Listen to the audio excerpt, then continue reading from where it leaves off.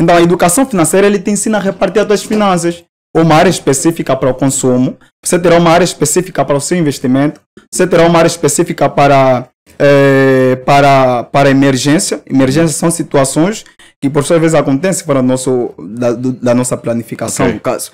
Então, e tem a área específica que é para reservas, né? Reservas financeiras. Esses valores geralmente servem para fazer os gastos normais. Eu ensino muitas pessoas, desde o período inicial, eh, a forma que a pessoa tem que gerenciar suas finanças. Automaticamente, a pessoa pode trilhar os seus sonhos e realizar aquilo que supostamente são seus planos de vida. Ok. E automaticamente, todas as pessoas, todos os indivíduos que, eh, que por sua vez querem dar um avanço na vida financeira, ou mesmo que nem querem cuidar das suas finanças pessoais, ou ainda que, querem cuidar das suas finanças do seu empreendimento, eles precisam de um consultor financeiro.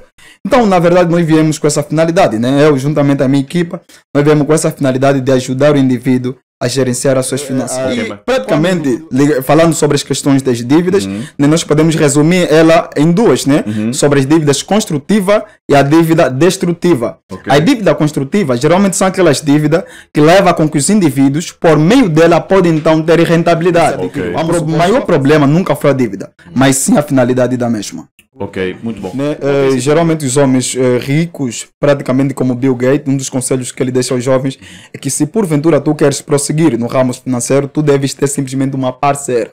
Ok. Né? Se tu tiveres mais de uma, automaticamente já complica as coisas, porque automaticamente tu farás muitos gastos superfluos ou ainda gastos de- desnecessários. Mas nós temos vídeo. Rádio 20 é líder em audiência na net. Ouvintes da audiência, boa tarde, boa tarde, boa tarde. 16 horas e 10 minutos na sua rádio, 22 de dezembro, sexta-feira, o ano é 2023. Atenção que o 2023 em menos de daqui a uma semana e alguns dias mais já basou e vem o 2024. Seja bem-vindo, tá?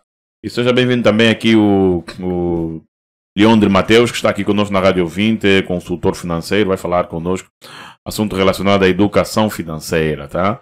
E principalmente atenção nessa fase de dezembro e há quem diga é uma, perdão, é uma frase comum que o mês de, de janeiro é um mês muito difícil. Então é importante você ir aí gerindo as suas economias para que não passe por dificuldade neste mês de janeiro, que se avizinha já. E por isso então convidamos aqui o Leandro Mateus para falar um bocadinho conosco sobre educação financeira. Leandro, boa tarde, bem-vindo à Rádio 20, muito gosto de ter aqui. Ok, boa tarde, parceiro Paulo. Boa tarde. Muito gosto, mano. Seja bem-vindo. Ok, obrigado. É, sim, senhor. Tá parecido já com dama, Leandro. Eu pensei que fosse uma senhora. Obrigado, parceiro. Brincadeira. Mais próximo do microfone, já? ok. Muito bom. Leandro, você é consultor financeiro há quanto tempo? Bem, praticamente estou na estrada de 5 anos, né? 5 sim. anos.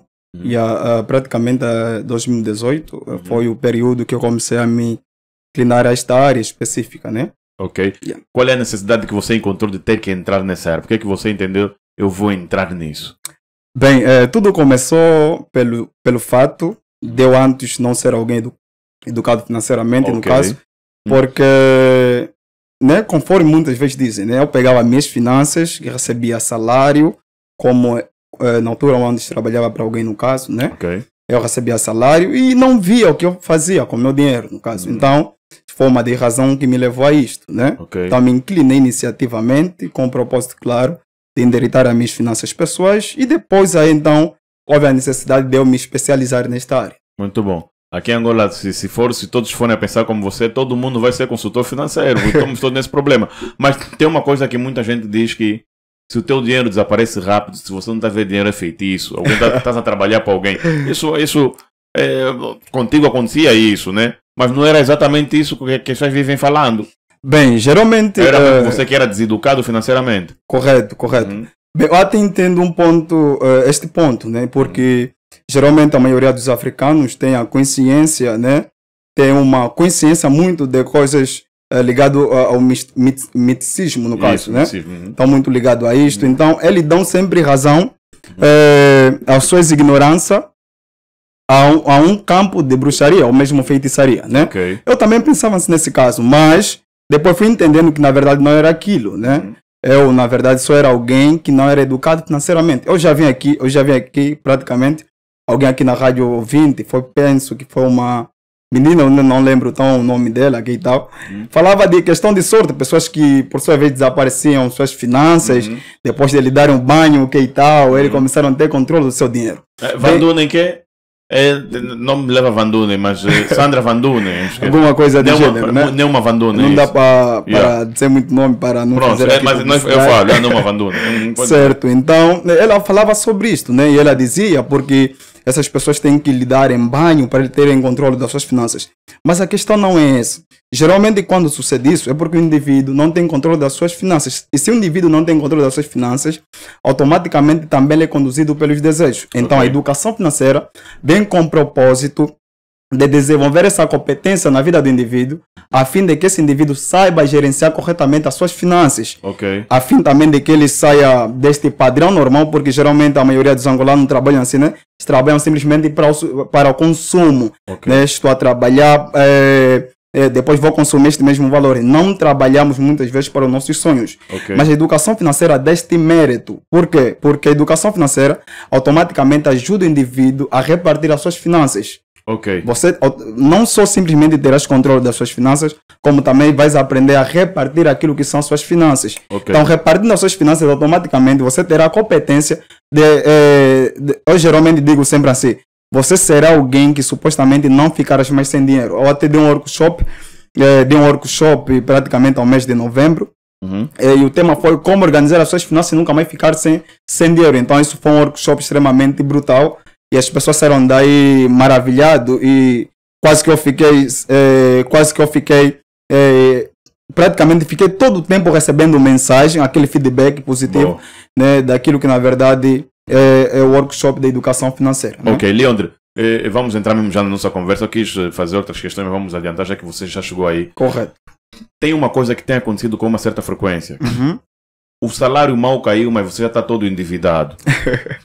e uma coisa, muita gente reclama do salário, que só serve para pagar a internet, a renda, a alimentação de casa, a escola dos meninos, combustível do carro, e você não tem mais nada. Como é possível você, com tamanhos de despesas, tantos gastos, você vai conseguir restar com algum dinheiro? Porque há gente que eh, salário cai hoje, depois de dois, três dias não tem mais nada porque já, já, já foi tudo ah, alinhado para essas despesas.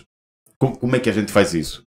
Bem, eh, como estava já lá a dizer, né, eu até entendo isto, né? Isto porque os indivíduos, eles não têm o costume de repartir as suas finanças, né? Ok, ok. Eles não têm o costume de repartir aquilo que são suas finanças. Então, quando o indivíduo não tem costume de repartir as suas finanças, automaticamente ele só tem um posto, Ok. só tem um posto das suas finanças, ou se calhar a mais dois postos, né? Das suas Ok. finanças. Uhum. Então, a educação financeira ele te ensina a repartir as suas finanças.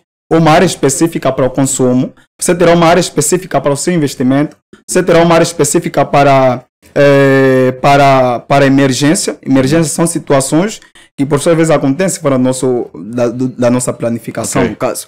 Então, e tem a área específica que é para reservas, né? Reservas financeiras. Esses valores geralmente servem para fazer os gastos normais. Então, quando o indivíduo aprende a repartir as suas finanças, ele pode enfrentar esse problema. Ele já não olhará isso como um problema. Isto por quê?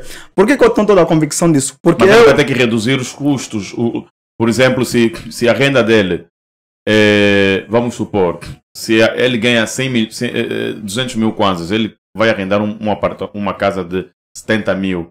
Ele tem que reduzir, porque o, o, o salário dele é- é- é- não é suficiente para ele pagar aquela renda. Então ele terá que reduzir o- os custos. sim, o custo de vida é importante. Porque Uhum. quanto mais a gente simplifica aquilo que na verdade são nossos custos melhores. E nós não podemos adquirir um hábito de viver num patamar que ainda não nos é permitido. Ok? Então nós temos que viver a um patamar que a nossa possibilidade permite e automaticamente nós vivendo ne- nesta dimensão Uhum. permite a gente realizar normalmente nossos sonhos. Ok. né? É isso aqui. Quanto mais você simplificar os gastos ou simplificar a tua vida, melhor também, né? No caso. Ok, muito bom. Por que, é que a maioria dos angolanos são deseducados financeiramente? Bem, eh, nós somos, na verdade, deseducados financeiramente porque nós não cultivamos desde, desde os nossos primórdios, né? neste caso, desde a nossa, desde a nossa primeira idade, Uhum. nesta questão ligada à educação financeira. Ok. Né? Angola é um país completamente diversificado ah, da Nigéria, né? Uhum. A Nigéria geralmente é um país subdividido, tem a área ligado ao, a, a área administrativa, né? a gente Ok. tem a área ligada ao empreendedorismo. O empreendedorismo geralmente é a tribo Ibo, né? chamado de tribo Ibo. Geralmente, é, é, geralmente a Nigéria, eles ensinam lá as crianças desde pequeno que quando você entrega alguém 10, essa pessoa tem que te dar Um bocadinho 20. mais próximo do microfone. ok? Ok. Essa, quando você entrega é, quando você entrega 10, essa alguém, tem, é, essa alguém tem que te dar 20. Ok. Ok? Então, eh, as crianças lá na Nigéria já passam educação financeira eh, para eles desde pequeno. Ok. Nem automaticamente essas crianças também, eh, os seus pensamentos quanto ao dinheiro são completamente diversificados. Já que Angola nós não, nós estamos completamente separados disto. Então, esta é a grande razão que faz com que a gente seja, eh, seja eh, digamos, não analfabeto, né? sejamos ignorantes quanto à questão da, ignora da, da educação financeira e gastemos as nossas finanças de uma forma errônea. Né? Ok. Mas a educação financeira entra com este propósito de levar com que o indivíduo gerencie as suas finanças da melhor forma possível e então pode realizar aquilo que são seus sonhos. Ok. Porque a educação financeira traz essa competência no indivíduo. Eu ensino muitas pessoas desde o período inicial eh, a forma que a pessoa tem que gerenciar suas finanças. Automaticamente a pessoa pode trilhar os seus sonhos e realizar aquilo que supostamente são seus planos de vida. Ok, muito bom.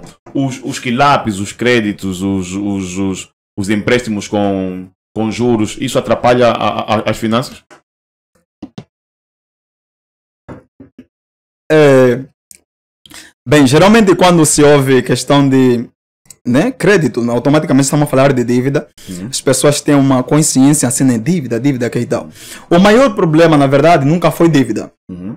O maior pro- problema nunca foi dívida, mas sim a finalidade desta dívida. Ok. né? Tu vai fazer um empréstimo a alguém, vamos supor, tu vai fazer um empréstimo, tu ouviste que saiu o iPhone, nós agora os- ouvimos, né, algum tempo atrás que saiu o iPhone 15, tu vai fazer, eh, tu vais se endividar com alguém porque você quer comprar esse iPhone, eh, tu vai se endividar com alguém porque você quer comprar essa peruca da moda que aquela cantora usou, então automaticamente essas dívidas são mais dívidas incorretas, porque existem a dívida eh, existem eh, eh, eh, praticamente falando sobre as questões das dívidas, né, nós podemos resumir ela em duas, né? Sobre as dívidas construtiva e a dívida destrutiva. Ok. A dívida construtiva geralmente são aquelas dívidas que levam com que os indivíduos, por meio dela, podem então ter rentabilidade. Ok. Vamos supor, estou a fazer, eh, eh, eh, eu faço uma dívida aqui ao companheiro Paulo Dagran, né? E posteriormente vou investir esse este capital, né? Vou Isso. investir esse capital inicial. vender alguma coisa Certo. quando vai sair o dinheiro para pagar a dívida que, que, que, que, adquiriu. Certo, Ok. automaticamente você terá rentabilidade também com esta, né, com esta dívida que você adquiriu. O maior problema nunca foi a dívida, mas sim a finalidade da mesma. Ok, muito bom. Qual tem sido o maior problema do, do angolano eh, eh, que o angolano tem tido que complica mesmo nessa, nessa, nessa educação financeira? Que o leva a, depois de dois dias, três dias, no meio do mês já não tem, o salário caiu, já não tem dinheiro. Qual tem sido o maior, o maior, o maior problema nisso? Bem, o maior problema nisso é porque muitas vezes, eh, né, isso até acontece, você ainda não recebeu o salário, mas seu salário já acabou. Ó, acontece muito. e aí você se, eh, fica automaticamente endividado, maior do que o teu salário. né? Muitas vezes isso acontece, que e tal. Então, eh, isso acontece na verdade porque nós não temos o costume, é aquilo que eu sempre disse desde o início, nós não temos o costume de repartir as nossas finanças. Né? As tuas finanças estão num único sítio, sítio específico, você não reparte ele. E automaticamente todas as pessoas, todos os indivíduos que, eh, que por sua vez querem dar um avanço eh, na vida financeira, ou mesmo que, nem querem cuidar das suas finanças pessoais, ou ainda que, querem cuidar das suas finanças do seu empreendimento, eles precisam de um consultor financeiro. Então, na verdade, nós viemos com essa finalidade, né? Eu, juntamente a minha equipa, nós viemos com essa finalidade de ajudar o indivíduo a gerenciar as suas finanças. Ok, e mas- quando o indivíduo aprende a gerenciar, isso é o segredo. Muito bom. Mas agora, como, Isso é como é que seria para, a- a repartir as finanças, Leandro? Como é que seria isso? Bem, como eu estava a dizer, na verdade, é como Paulo, é, co- como parceiro Paulo pagou-me tão pouco, então não poderia desvendar esses segredos, né? E automaticamente só desvendo esse segredo para os indivíduos que eu dou consultoria, para eles, Ah, no caso. Né, para os indivíduos que eu dar consultoria, eu vou ensinar como repartir as finanças, como deve se repartir. E isto é uma questão que eu sou completamente mérito nesta, nesta área, porque a minha especialidade mesmo é consultoria financeira. Ok, muito bom. Os ambientes, a vida, como dizemos, a vida do, do, do bardeio, as mulheres, a- a- atrapalha muito? Bem, atrapalha aquilo que eu estava a dizer enquanto tivemos uma conversa curta. Uhum. Né? Eh, geralmente os homens eh, ricos, praticamente como Bill Gates, um dos conselhos que ele deixa aos jovens é que se porventura tu queres prosseguir no ramo financeiro, tu deves ter simplesmente uma parceira. Ok. Né? Se tu tiveres mais de uma, automaticamente já complica as coisas, porque automaticamente tu farás muitos gastos superfluos ou ainda gastos de- desnecessários. Mas nós temos já temos exemplos, até nem vou falar aqui o nome de, de- de grandes ricos, que têm várias parceiras. Bem, eh, a estes indivíduos, né, eles geralmente, eh, a maioria dos ricos, eles têm disciplina, né? Uhum. E as pessoas que supostamente se inclinam deles, a maioria deles não são ricos. Uhum. Eh, não é que não tem rico que não está inclinado nisso. Tem rico que está inclinado nisso normalmente. Mas como ele já chegou a uma dimensão tão alta, ele ele gasta, ele faz, desbanja Ok. o seu- os seus valores monetários, ainda Ok. o seu dinheiro desta forma. Né? Mas para alguém que quer construir a vida até chegar a esta independência financeira ou mesmo chegar à riqueza ou ainda a vida próspera, automaticamente o indivíduo tem que limitar mesmo essa questão e se focar simplesmente a, única, a uma única parceira. Ok. Solução então? Bem, é, é, na verdade a, solu- a solução é isto né, que eu estou a dizer aqui. Uhum. É, o indivíduo precisa simplesmente se inclinar a uma parceira. Não, parceira não. Na solução para, para termos então uma, uma finança boa, agradável, esta é, é- é- é entrar em contato convosco, se calhar, ter um consultor financeiro na sua vida. Certo, certo, certo, certo. É, como eu já lá disse, né, todos nós precisamos de um consultor financeiro. Uhum. Tanto, tanto é para cuidar das suas finanças pessoais, como de igual modo também para cuidar das finanças do seu empreendimento. Todos nós precisamos de um consultor financeiro. Então, se na verdade queremos dar esses passos adiante, nós pre- eh, você precisa mesmo me contactar, né? Ok. Você precisa en- entrar em contato com a minha equipa e automaticamente a gente, eh, praticamente o nosso, eh, o nosso, o nosso espaço ainda está em reparação. Então nós podemos vir diretamente à tua casa, né? Nós estamos aí à casa dos clientes de momento, que e tal. Então, desde o momento que os clientes entram em contato conosco, a gente vai solucionar esse problema. Ok. Né? Número de telefone? É, tu podes ligar para o 9938 75 55 39. Também podes entrar em contato comigo por via das minhas redes sociais, no caso como o Facebook, Leandro Mateus Oficial, nesta minha página nova. É, como de igual modo também o Instagram, né? Leandro Mateus, né? Podes entrar em comunicação comigo. Nós Ok. vamos solucionar esse teu problema. Automaticamente serás um homem e uma mulher é, tão elevado no ramo financeiro. Porque aqueles sonhos que são teus, tu precisas alcançar. Mas para alcançar, automaticamente precisarás de disciplinas e, e precisarás de sabedoria. E esta disciplina e sabedoria eu posso lhe passar. Posso lhe passar. Tenho um segredo para isso. Assim conforme deu certo comigo, de certeza que dará certo também consigo. Não há dúvida nisso. Não há dúvida nisso. Ok. Leandro, Leandro eh, Matheus, muito obrigado pela vossa presença, sua presença na Rádio 20. Muito gosto de ter-te aqui, tá?